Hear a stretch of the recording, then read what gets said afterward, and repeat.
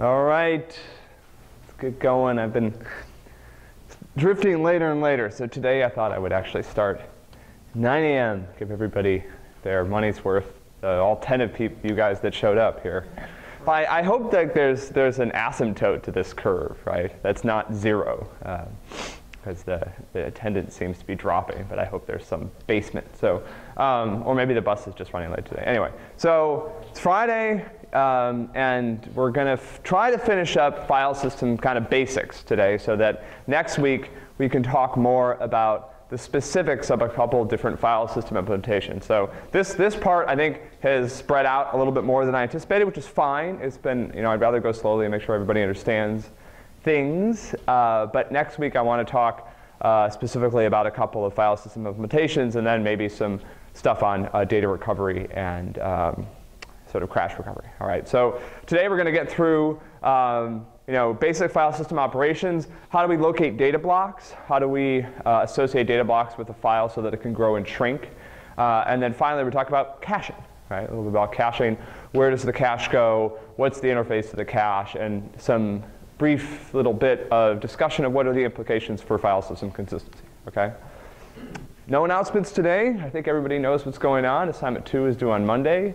Uh, remind you, you guys have five late days uh, for assignment two and assignment three combined, right? Five total late days. So I suggest that you use those late days. I mean, there's no point not using them, right? The question is, do you want to use them on assignment two or should you wait and use them on assignment three, right? So if you're done with assignment two, fantastic. You've got five late days in the bag waiting for you for assignment three where you will probably need them. Um, so anyway, any questions about assignment, sort of course logistics, anything? Uh, we've gotten some of the old lectures up online. Uh, I think maybe we're like one or two behind at this point, but, but I'll work on that this morning. So they'll be up. We'll be current as of today. So we'll have all the old slides and, and video online. Questions about course logistics? All right. Um, so on Wednesday, we talked about inodes and about how we implement directories. Uh, questions about uh, this material? Any questions about inodes, inode structure, inode location, uh, directories? What are directories? How do we implement directories? How do we find things on the file system? We'll go through an example of path name translation today, so we'll get a little bit more reinforcement of this stuff. All right? So, who remembers?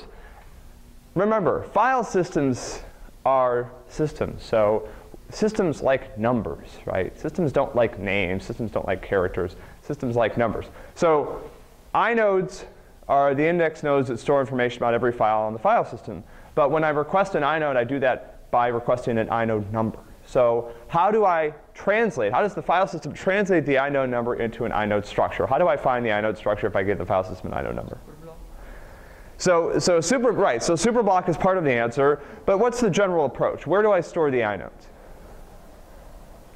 It could be spread across the disk, but, but what do I need to know about, you know, if I, if I give you an inode number, you need to be able to translate that into a what? Into a disk block. Into a disk block or a location, right? So essentially, I create all my inodes when I create the file system, right? So when I format or initialize the file system, I create all my inodes, and I put them in locations that are well known, right? Either the locations are stored in the superblock or they're in just, they're in, you know, every, the same spot every time, right? So you can imagine if I, the simplest approach to this would just be to put all the inodes, you know, at the very, very, very beginning of the partition, you know, starting with block two or something, and a big array of inodes. So that way I could translate an inode number very, very easily into the data block and the particular piece of the data block that stores the inode, right? But what's the consequence of this approach, right? I allocate all my inodes at format time, and so what can happen? You missed that class. Uh-oh. What about down here? No guesses? What can happen? I allocate all my inodes right up front. Nobody, you, you, you're ahead. I'm drifting over here to the Sabres corner. Are the Sabres in the playoffs? If they win tonight. If they win tonight. Oh, wait, okay. Ah, Capitals. All right. No idea. Scott. Right, so there's a fixed number. Well, there's two consequences, right? One is if I put the inode in, in, you know, when I format the file system, I have no idea where the data blocks that are associated with the inodes I'm creating are going to be. So it's possible that those data blocks might not be located near the inode, right? And that could be a problem. Why? What's that going to create? No clue. Sean? Uh, That's going to make it slow. Slow why? Because you're moving back and forth on this. Right, so I have the disk head, yeah, the disk head's going to be seeking back and forth between, you know, these inodes, right? So how do I access the file? You know, I, I find the, uh, you know, we're going to talk today about how I find data blocks, right? But the first step is I find the inode for the file. So I find the inode, and then the data blocks are over here, and maybe I update the data blocks, and then I need to update the inode. So now my disk head is, you know, blah, blah, blah, and you can hear it going, you know, and it's, it's bad, right? Um, remember, we don't want to move the heads. The heads are slow, okay? And then what's the other consequence? Scott, Scott alluded to this, right? I've got a fixed number of inodes, meaning what, Ben? If I have a fixed number of inodes, what can happen to the file system? And what would that mean? I can't create any more files despite the fact that I still have space on the disk, right? So if I run out of inodes before I run out of data blocks, too bad, right? Your file system may have, there may be a lot of data blocks that are still left unallocated on the disk, but it doesn't matter. The file system is out of the structure that it needs to create new files, and so you're done, okay? All right, directories, right? So, so directories are just special files that contain a series of path name to inode mappings, right? And I don't know what else is on this slide. Oh, okay, here we go. Uh, a, a, description of, you know, a set of directories here, right? And I'm showing you, uh, if I list the contents of the directory by inode, I can see the mapping between the relative path names and the inode numbers, okay? Any other questions about this? This, the, you know, somehow this was all that we did on Wednesday, although it was a fun class. Uh, any other questions about this? We can keep going. All right, great. Okay, so let me go back. I know I showed you this stuff um, on Wednesday, but let's just review it a little bit. So remember, the file system superblock stores all sorts of interesting information about the file, and there are file system, sorry, and there are tools on Linux that will allow you to access this information. So we looked a little bit about the quite detailed uh, output of the debugfs command shows super stats, right? So this reads the superblock and parses information out of the superblock and puts it in a human readable format, right? And again, this tells you all sorts of things. It tells you what the volume name is, where it's mounted, what kind of file system it is, where the inodes are, uh, what the inode size is, what the data, what the block size is, et cetera, et cetera, right? So this is kind of a neat view into the internals of how these things actually work, right? And then here's another page of it. Shows you, in particular, where the uh, different data structures are on disk, right? So my free block bitmap, which I need to figure out which data blocks are free so that I can allocate them. It shows you where that is, shows you where the inode bitmap is. What do you think the inode bitmap is used for? John? For, so, so the block bitmap is used to allocate blocks. Therefore, the inode bitmap is used to allocate inodes, right? So when I'm looking for an inode, if I'm creating a new file, I'm going to look in the inode bitmap to figure out what inode structures are unused, right? Then my inode table starts at a certain block, you know, and this you know, kind of shows you the statistics for this particular group, right? And you can see here there are no free inodes in this group. Now, I don't know actually where these groups map to on disk, but it's interesting here. You'll see that both group 1 and group 0, and I wish I would have shown more groups here, are completely full, right? There are no free inodes in either one of these um, groups. And so what I'm wondering is, are these groups in a good spot on disk, meaning that ext4 is allocating from them first, right? So who remembers, based on the disk geometry, what's a particularly good spot on disk? Spinning disk, right? Uh, where, where would I, what, are the, what is the part of the spinning disk that I might want to use first? The outer edge, why? Carl? Well, no, no, no. I, I, I, think, I think this doesn't matter, right? Because what's true on the outer edge of the disk? Constant density of data storage, right? There's more data on the, so one way to remember is there's more data on a track on the outer edge of the disk because it's longer, right? But yet the seek, the head spins, it takes the same time for the head to make one revolution whether I'm on the outside or inside of the disk. Ergo, when I'm on the outside of the disk, I see more data per revolution than I do when I'm on the inside of the disk, right? meaning that the, the uh, uh, achievable bandwidth of the disk is higher on the outside edge, right? Does that make sense, Carl? Well, it depends whether you're going to be overshadowed by seek time. Well, well, but, but again, I mean, if, if, I, if I pack everything out to the outside of this, that's okay, right? Because remember, seek time is always um, lateral, right? So, you know, if I can get everything onto the outer edge, then I'm only seeking on the outer edge. If I get everything onto the inner edge, then I'm only seeking on the inner edge, but my bandwidth is lower. I guess I'm assuming a full volume. Ah, okay. Yeah, yeah. So, so this volume is actually not full, right? But my, but my question is, what's the EXT block allocation strategy? And what I'm saying is, I think based on this evidence, and I wish again I had shown a couple more groups, that it looks like the first blocks and inodes that are being allocated on this particular volume are being allocated from the lower numbered groups, right? So I, again, there were 64 different groups. I wish I had shown some other ones, but maybe I'll do that for next time. Okay. All right. So, so again, when, when I call open, the process hands a path to the file system, okay? And the file system needs to translate that path to an inode number. Remember, I think the file system thinks in inode numbers, right? So this, is a, this could be a file or directory. I'm trying to open it, and I need to figure out what's the inode number corresponding to this path, okay? So for assignment two, you guys aren't, aren't, aren't bothering with this, right? You just pass this into VFS Open and you're done, right? But what is VFS Open doing, right? So how do, what's the process of translating this path into an inode number, right? So there is a unique inode number on the system for Etsy default keyboard, right? This is a file. Uh, I don't know why I chose this file. Maybe just because it wasn't that deep and it was, it was an actual file, right? Rather than a directory, all right? So what's the first step? What's the first thing I need to do? How do I bootstrap this process? Who remembers? I need, I, I, I'm going to go through a process of translating pieces of this path name to inode numbers, right? Find the root. And how do I find the root? Inode number two, right?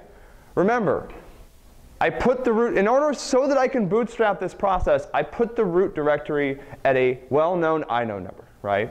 So any ext4 file system will have the root directory as inode 2, okay? And that's how I bootstrap this process. Otherwise, I'm stuck, right? Otherwise, I need an inode to translate the path, but I need a path to produce an inode, right? So this is what helps me get started, okay? I start with inode 2, right? So I use this fixed agreed upon inode number like 2. Now what do I do? I have an inode number 2 that corresponds to the root directory. What's the next step? What do I do? I have an inode number 2. Now what am I going to use that inode number to do?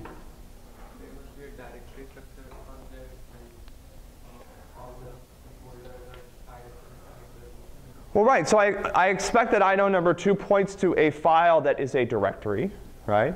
But what am I actually going to do, right? I've got an inode number. Now I can tell the, the file system, I can give the file system an inode number, which is what it understands. But what's the next thing I need to do here? What's that? So I need to find the inode for ETC, right? But that's, that's a good point. So why ETC? Why not ETC default keyboard? What's the other baked in assumption that you guys are, are operating under when you're solving this problem? What's that? Well, what's, so what's a special semantics that's built into this file name? It's an absolute path. I'm, um, I'm, you guys are getting closer. Again, you guys are so programmed that you don't even realize what. It's hierarchical, and, and, and again, what, what sort of special formatting is going on here? For the forward slash is being used as a separator. So the forward slash is what standard Unix hierarchical file systems use to divide components of the path name, right? Is there any reason why forward slash is necessary for this purpose?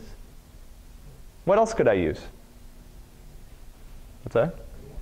Anything, right? I mean, I could use a period, right? I could use an underscore. I could use a caret, right?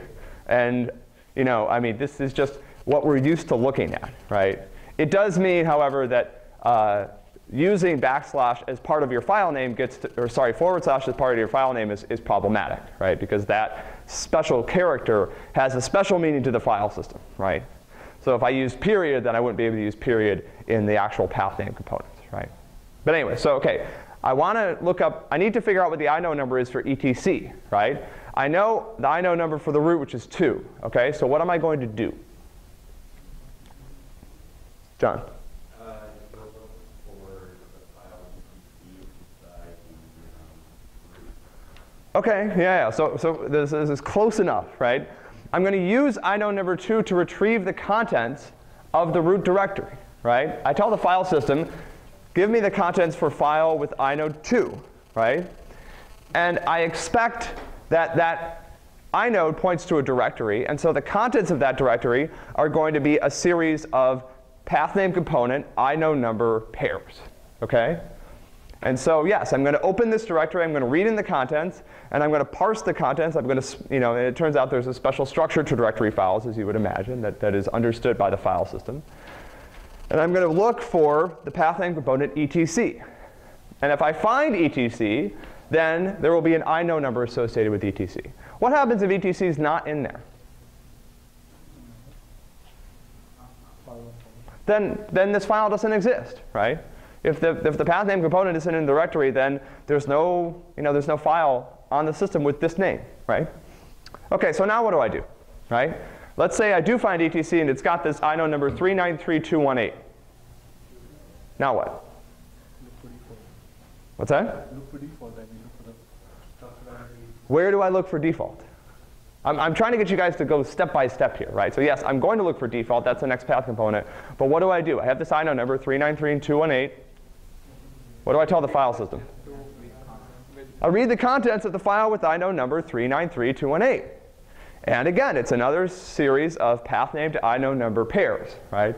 And I look for default, right? And I keep doing this, going down the file, translating inode numbers to path components until I exhaust the entire string, right? And then what I produce is an inode number corresponding to etc default keyboard, all right? And let's see here. If I go back and show you this, well, I didn't, I didn't go this direction here, right? But, but this, this gives you an idea of how this works, right? I mean, I start with 2. Let's, see I was, let's say I was looking up home Challen, right? I would start with 2. I would list the contents of 2, right? I would see that 393219 is home. And then I would go into home. And I, of course, again, I'm asking the file name. I'm asking for the file by the file name here. But in reality, the file system would be looking that up by the inode number, right? Because the file system doesn't understand file names, right? All right. Maybe I actually have a, nope, okay. So this is how I translate paths. All right? Any questions about path name translation? This is not a, a terribly hard thing to do. What about, what happens if this path is not a absolute path? What happens if it's a relative path? I have to work with the current working directory. I have to work with the current working directory, right? So if the process asked me to open dot dot slash et slash slash default whatever, right? I perform the same process, but instead of starting with the root inode, I start with the inode that corresponds to the current working directory of the process, right? What do I do with dot and dot dot in path names? How do I treat those? Does anybody know? What's that? No, no, no, dot dot is parent, but how do I, do I need to do anything special when I translate those? Ben? Uh, you can associate the dot dot dot character with the inode, either your, your inode number or Yep. the of the. Yeah, and, and it turns out, I think, that, again, if you go back here and look at this, well, this isn't showing dot and dot dot, right? But if I printed off this entire directory, dot and dot dot are just in there. They're just path name components, right? They're just a string that, a special string that the file system interprets either as pointing to the parent inode of the directory or as pointing to the directory itself, right? So there's nothing really that special about them. The only thing that these file system might do with dot and dot dot would be what? What, what could you not do to dot and dot dot? In order for things not to go a little bit weird, right? What's that? You can't remove them. So if you try to do, uh, if you try to, I mean, you can you can execute a remove command on it, but it operates on the on that structure. So you can't take dot and dot dot out of the directory, right? Carl, you're looking skeptical. No, Okay. but you also have a circular directory issue. You gotta make provisions for that, like when and whatnot. So, uh, okay, so we talked about this, right? We talked before about wanting the hierarchical file system to not have cycles, right? And that, that is true, and that is something that's enforced when you move files around, right? So one of the things that happens is when you move a file on the file system, if the file system detects that you've created a cycle in the directory structure, it will fail, right? And the reason for that is what we talked about before. We want files to have unique names, some unique canonical name that points to that file, right? Once I introduce cycles, then that, then that uh, requirement is, is gone, okay? Um, Yeah. How handle symbolic links? How do I handle symbolic links? Okay, ah, shoot, I forgot to put a slide in this. Okay, so there's two, there's two linking tricks, right? So how many people have used links on Unix? I think you guys probably have done this. How many people have used symbolic links? How many people have used hard links? How many people know what a hard link is? Okay, so so one of the things we can do, right? Remember, my directories just contain translations between a path name component and an inode number. Okay? So let's say I want the same inode number or the same file to appear in two different directories. What's one way I could do that? Point the same item. I could just have the inode number in two different directories, right? So I could have Etsy default keyboard point to inode number 1000, and I could have foo bar keyboard also point to inode number 1000, right? So that's, that's what's called a hard link, right? What it means is that when the file name is translated by the system, what it gets out is the same inode number. And so the contents of those hard links, those hard linked files are identical. It's, a- it is the same file on disk, okay? What's, but what is one consequence of this, right? So I'm translating the path name to an inode number, right? What is the inode? Does the inode, does an inode number make any sense when I cross file systems? Let's say I have two different partitions that are formatted with the same kind of file system. Does file, uh, does inode number 1000 mean anything on the other system? No. Inodes are always relative to the file system that you're on, right? It's, they're created at format time. And what this means is that hard links cannot cross different parts of the system. So if you have two different file systems mounted in different places, you can't create a link that, that spans them, right? Because the hard links are just by inode number, right? A simple way to fix this problem what's called a symbolic link, right? So this is what you asked about. What symbolic links are is a symbolic link is a special file that simply contains a path name, right? The whole contents of the file are just a path name. How do I, so what do I do? So again, I want to use this as a link. I want to use it to allow one file to point at another file. So how do you think I translate this? Let's say Etsy default keyboard is a symbolic link, okay? So I translate Etsy, I translate, I, I go root Etsy default keyboard. Finally, I'm at inode number 394692, and it's marked as a symbolic link by the file system. I open it, and I get a new path name. Now what do I do? How do I open the file?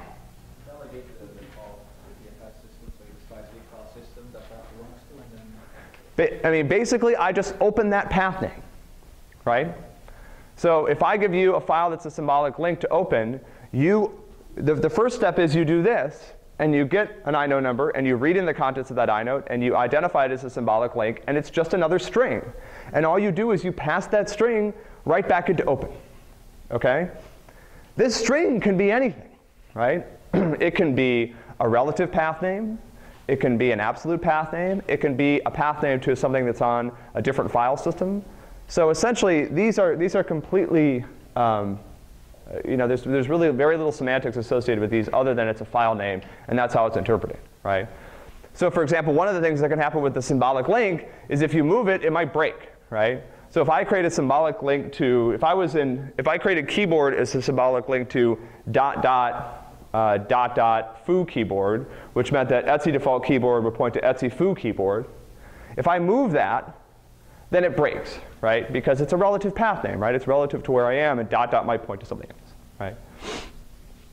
All right, so I, I, should have put this on a slide. I'll do this this next time to, to get the, onto the slides, okay?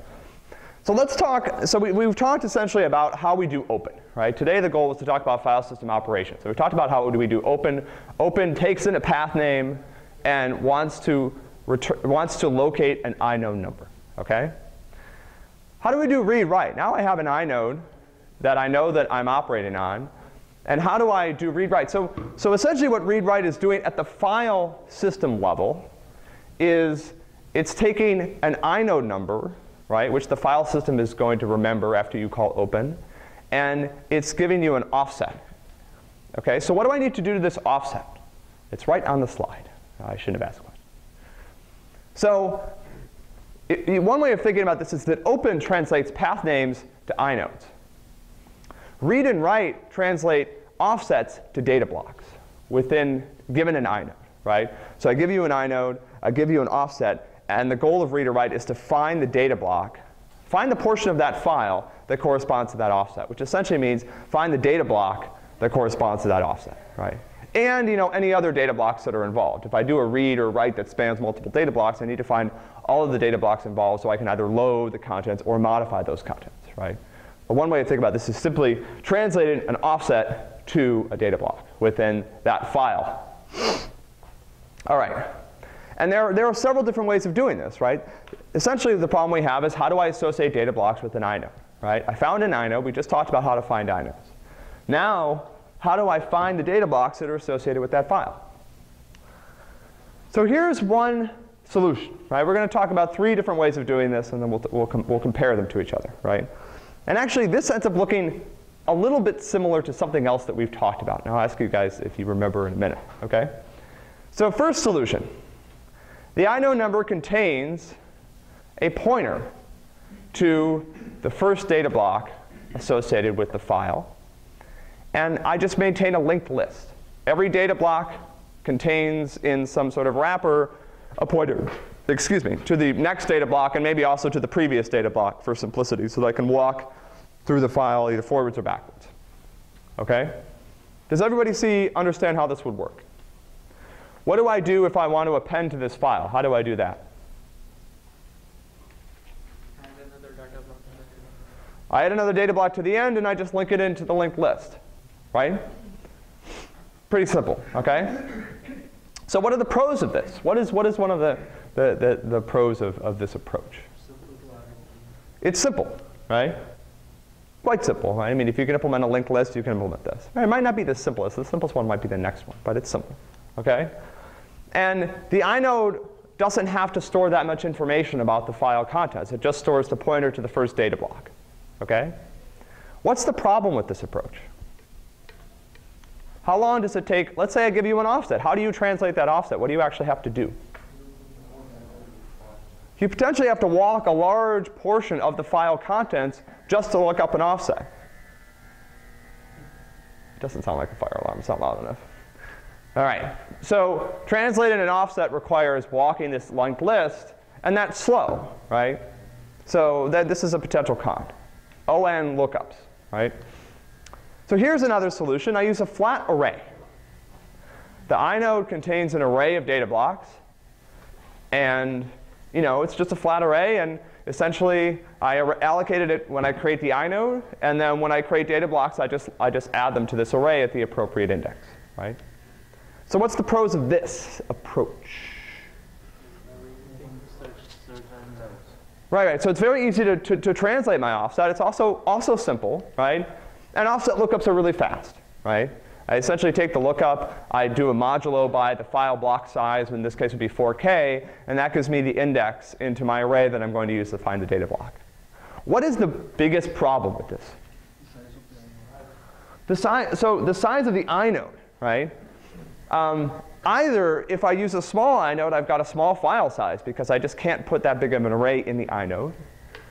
And if I have up, like, like if I want to support the largest possible file on the system, let's say I want the largest file to be like four exabytes or something like that, right? Which new file systems support file systems files of that size, okay? If I do that, then it means I need to have this gargantuan array in every inode, right? And what, what do you guys remember about most files on the system? Are most files huge? No, most files are small. That's why ext4 can get away with an average file size of 16K, because most files are small, right? There are some big files, but a lot of files are small. I wish I had a graph for this. It probably is a good one I can pull up. Maybe I'll, I'll do that next time to give you guys a sense of what the distribution of file sizes is, because this is important for file system design. Right? And again, so, so because of this huge difference between the largest possible file and the smallest possible file, a large portion of the array, either a large portion of the array might be unused if I support huge files, or I can't support huge files and I have a small array, right? So again, our observation here is that most files are small, but files can get big, right? We want to support very, very large files. Older file systems had these irritating limitations. So how many people for some reason, FAT32 is still around. I don't know why. How many people use FAT32 or are forced to use FAT32? So FAT32 has the largest file size. Anyone know? Four gigs, right? I'm sure when they designed FAT32, they were like, four gigabytes. Who would ever have four gigabytes of data in a single file, right? Well, now everybody does, right? And it's a real pain in the butt to work with FAT32 because you end up having to split things across multiple files, and it's just kind of a disaster, right? Um, so, so newer file systems, again, I, I, can't remember what the max file size supported by ext4 is, but I think it's actually in the exabytes, right? So it's massive, right? At the same time, I do wonder if we'll ever have exabyte files. That's just me. I'm just going to put that out there, right? Uh, and, and probably, you know, 10 years from now, I'll be saying, like, some people thought, we never have exabyte files, right? And uh, what do you, what do you put in them? Um, OK. Maybe by that point, we'll all be watching movies that'll be like 18 hours long, you know, and like 10 billion by 10 billion resolution or something. Okay, so, so the way that we support this on most file systems is through what's called a multi-level index. And a multi-level index uh, has the inode store several different types of, point, of block pointer. The first type of block pointer I point are what are called direct block pointers. And these, as they sound like, point to blocks.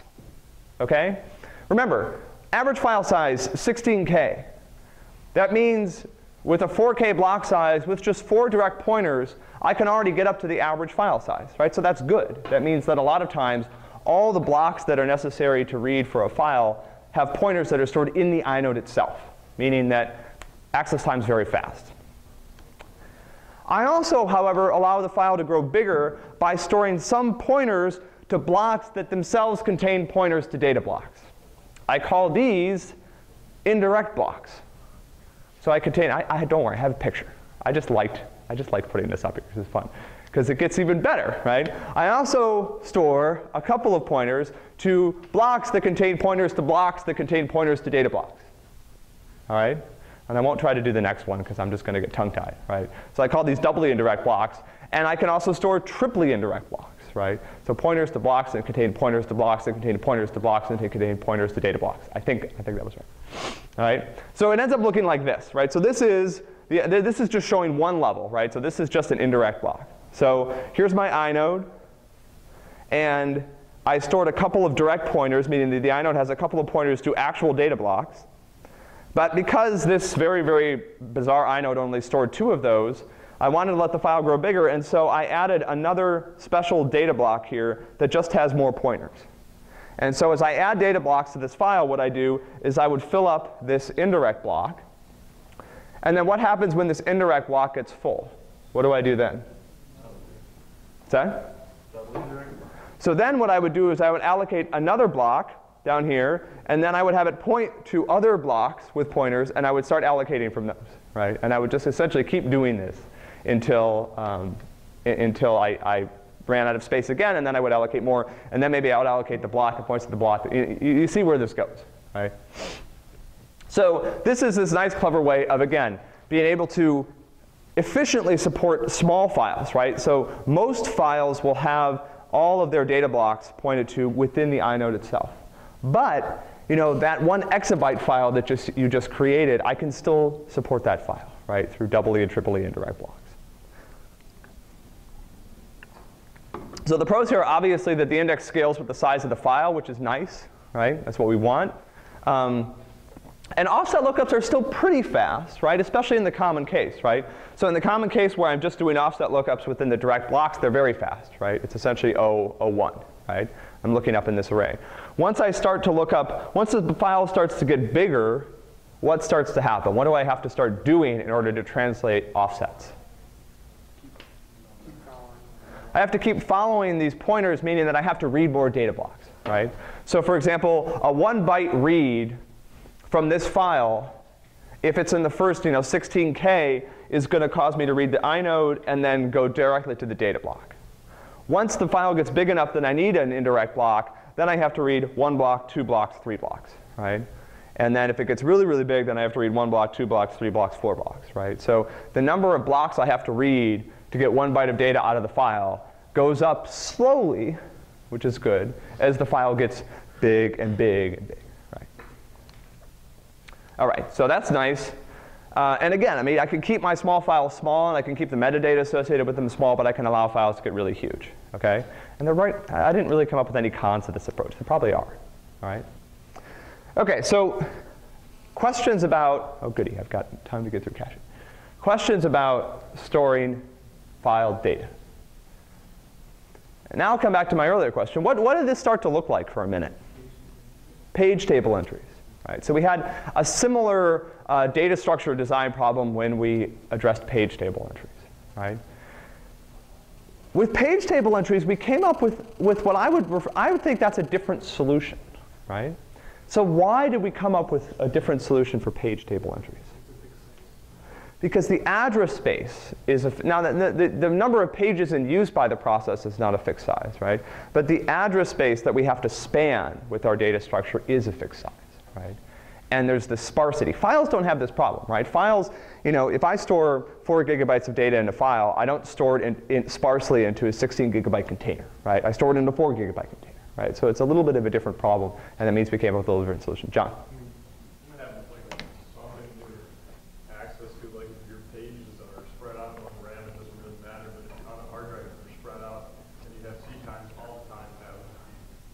Yeah, yeah, yeah. And, and um, man, what, what, I, I, didn't put in a slide for this, but I wanted to talk a little bit, I, I guess I mentioned this last time. So, so ex that's, that's exactly right, right? And extents are another way that file systems address this issue, right? So I mentioned this last time, and it's a feature of newer file systems. And actually, you, you, ext4 actually uses extent. So you, if you print off the information about files using debugfs, you can see that they have extents. And yes, one big goal of file systems is to allocate things contiguously whenever possible, right? And, and that's because you know, the number, the number, you know, if I need to read 16K from a file and it's all on one track, I'm great. If those four data blocks are in four different locations, you know, I'm on the struggle bus at that point, right? It's going to be slow. All right. Okay, so now we talked all this stuff about on-disk data structures, right? But the, the, real, the, the real stinky thing about file systems is we don't want to use the disk at all, okay? The disk is slow, slow, slow. I mean, disks are getting faster, flash is helping, but disks are still, you know, orders, spinning disks are orders of magnitude slower than other places where we can store information, right? So how do we do this? We have our, we, you know, we, we've talked about some design principles. What's, our, what's the canonical way that we make a big, slow thing look faster? We use a cache, right? We put a smaller, faster thing in front of it and use that thing as a cache. So we can avoid using the big slow thing. And in this case, also with file systems, the other thing we can do is we can avoid using the big slow thing inefficiently, right? So we'll, we'll get to that maybe in a later class. But using a cache allows us to store information temporarily and defers the point where we actually have to make a decision about how things are going to end up on disk. And that deferral can help the file system better allocate on disk data structures. Okay, so in the case of the file system, again, I mean, we're going to use memory. And the memory we use to cache file system data is referred to as the buffer cache, right? And buffer caches have this really dramatic improvement in performance, right? One of the things, I guess, that is sad about the fact that we've trimmed assignment 4 from this class was that a portion of assignment 4 used to be to implement a buffer cache for the simple file system in OS 161. And one of the reasons that you know, I decided to elide this particular assignment is because that uh, process of implementing buffer, buffer cache shares a lot of features with assignment three, right? So I didn't think there was really a lot of new uh, technical details there. However, implementing the buffer cache just produces this massive boost in performance, right? So when people actually got it to work, it was like, woo, you really noticed, right? I mean, a test that would take 10 seconds before ran in like 0.1 seconds, right? So it's really, really dramatic because disks are so slow, right? All right, but we, I'm going to be calling this thing the buffer cache, right? I don't know why it's called that, but that's what it's called. It is a cache, and it's caching, you know, buffers. It's buffering data for the file system, right? Okay. But you might, you might say here, and, th- and this is an interesting observation, right? Well, don't, aren't I already using memory for something? What am I using memory for? The application's gone. I'm using memory for memory, right? Like I gave processes access to memory, you know. So so why now now I'm, you know, now I've got this buffer cache thing that wants to use memory. So I, so yeah, operating systems provide memory to processes that use it through the standard memory interface using standard instructions and virtual address translation. We talked about all that good stuff. Now I'm also going to use it to cache file data. I'm going to do that to improve performance. But you know, these two things are competitive, right? I've got a fixed amount of memory on the system, and some of it, you know, now I've got two uses for it. Before I had this fantastic world where the only thing that was competing for memory were processes competing for memory with each other. Now I've made things more complicated because I have the buffer cache competing for memory with the memory management system itself, right? And you can imagine what happens here. So let's say, let's say I say, okay, I'm a file system person, and the file system is the most important thing on the system, and the disk is really slow, and so I'm going to make this, I'm going to allocate this huge buffer cache, and I'm going to take a small sliver of uh, memory on the system and use it as main memory. What's the problem? What will happen here? Well, I I don't have, like, you know, again, I can use swapping, I can use other tricks. So I don't have to run out of memory, but, but, but what's going to happen? I'm going to swap more, right? I might start thrashing in my memory subsystem. The interesting thing here is that if I limit the amount of main memory, what starts to happen? I have to use the disk to swap, right? So I was trying to avoid using the disk by making the buffer cache really big, right? But now the main memory system is hammering the disk because it's got to swap all the time, right? So this is not good, okay? Uh, what, okay, but okay. So now let's say I'm a, you know, I'm the memory uh, subsystem maintainer, and I'm saying, okay, we're, at, you know, the buffer cache isn't that important. Small buffer caches work pretty well. You know, I need lots of memory. So, so what's the problem here? The file access is slow, right? File access might be really slow, especially for certain workloads. So this decision about how to partition memory between the file system buffer cache and the memory subsystem is usually not made statically, right? This is something that is allowed to evolve over time. And most systems have an integrated buffer cache and memory management subsystem, meaning that there is one uh, pool of, it's, it's not like I say at startup time, okay, memory system you have 50%, file cache you have 50%. Based on the access of the system, the buffer cache is allowed to grow and shrink, and the amount of main memory is allowed to grow and shrink. And on Linux, there's this uh, para- parameter that I've always, I've always loved. I mean, swappiness, right? I mean, what, what does that even mean? Um, so it, it turns out, apparently, what it means. Uh, this is one of these like black, little black box magic numbers. Uh, is it controls how aggressive the kernel is in pruning unused process memory pages, right? So we talked when we talked about memory management about the fact that operating systems don't just trim when they run out of memory. They also trim constantly. They're constantly looking for unused pages, pages that haven't been used for a while. They're running the clock algorithm, they're spinning the hand, and they're, they're, they're writing those pages to disk and potentially evicting them, right? Preemptively, we talked a little bit when we talked about memory about the fact that this happens because I want to prepare myself in case an application starts and I need a big gob of memory. The other reason that it happens is because the file system buffer cache is using pages that, that I'm evicted. So if, if the memory system has a bunch of unused pages and it can evict them, then the buffer cache can use that memory to buffer files. Right? So this is another reason this happens. And on Linux, on Linux, this swappiness parameter controls how aggressively the operating system is, is doing this. Right?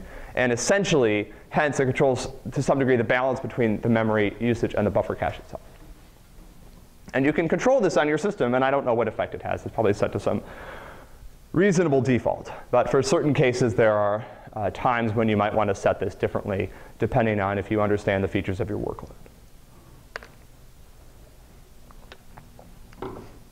So the other question with the, the buffer cache is where to put it. So I haven't put up this slide before, but I think we should stop and talk about it for a second because you guys are starting to see some of this, right? So we talked about how the file system interface on Unix and Linux-like systems is designed to allow multiple file systems to use, be used. And the way it's done is it's done by providing a virtual file system interface that presents the appearance of all these different calls that the file system could use, and then having individual file systems implement that themselves, right? So when you call VFS open, what happens is that that call to VFS open is translated to either a call to SFS open if you're using the, the OS 161 simple file system, which you're not. So actually as a call to emufs open. And there could be there could be an arbitrary number of different file systems that are here, right? So you know Isaac you know, could decide that he wants to do assignment four and write a file system himself, and he could write, you know, Isaac FS right here, and then, you know, in October when he's finished, uh, you know, he could, he could come show it to me, right?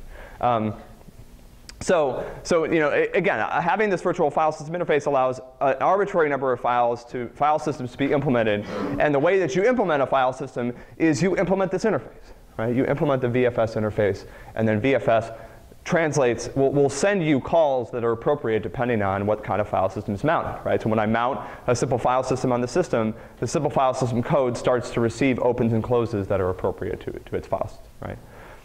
At the end of the day, though, all the file systems are essentially, that, that are using disk, are using this block level disk interface. So all of these calls, you know, the simple file system is going to decide what kind of data structures I'm going to use, where am I going to put things on disk, but at the end of the day, it's reading and writing disk blocks, right? And emufs, well, I don't know about emufs. Maybe that's not true because emufs is using the underlying file system. This, this might be a lie. But in general, on a, you know, if I had systems that were using a real disk device rather than running on top of another file system, they would all be using this low-level disk interface, right? They're using different parts of the disk, but they're all reading and writing disk blocks. So there are, there are two choke points where I can put a cache, right?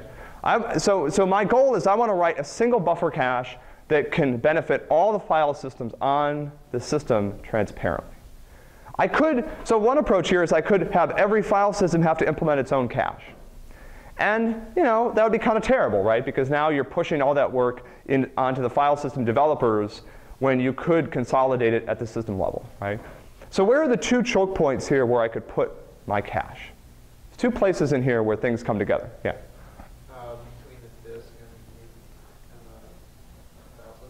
So right, so I could, I could put it down here, right, between the disk and the file system, and where's the other place? There's somebody over here.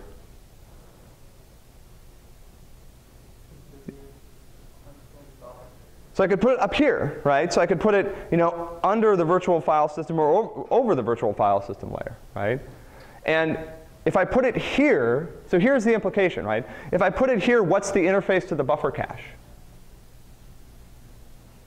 What, what is, it's, it's the file system interface, right? It's open, close, read, write. Like those are the calls that the buffer cache would see, right? Because what would happen here is I would make the call to the VFS layer. It would pass it to the buffer cache. The buffer cache would try to perform those operations out of memory. And if it failed, it would pass them down to the individual file systems, right? So this is one approach. And the other approach is, as, uh, Ben pointed out, I can put it down here at the disk level, okay? And what that means is that it's going to use the disk interface. It's going to read and write blocks. So, you know, my file system operations are going to go through the file system implementation, and when it says read block, it's going to say read block 15 or whatever. The buffer cache is going to try to find that block in memory, and if it can find it, it will return it from memory. If not, it's going to pass those calls through to the disk, right? John?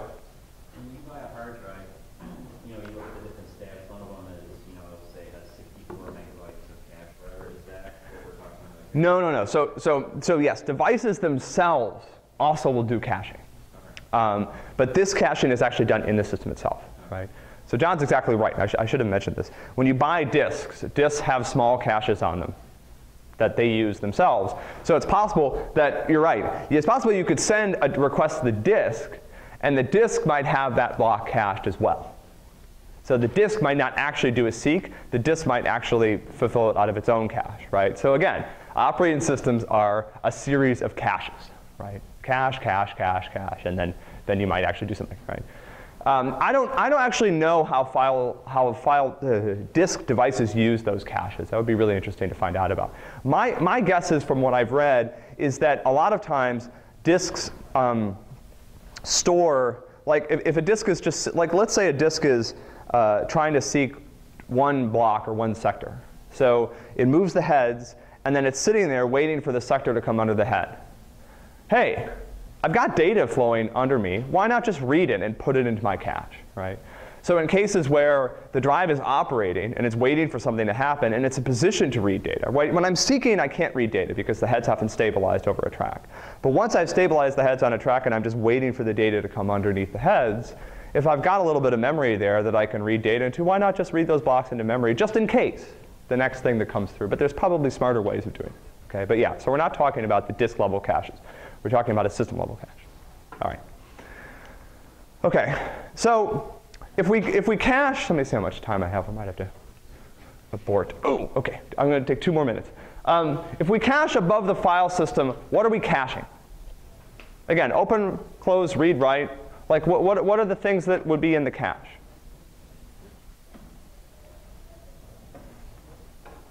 Carl, you're looking like you know the answer, and you just.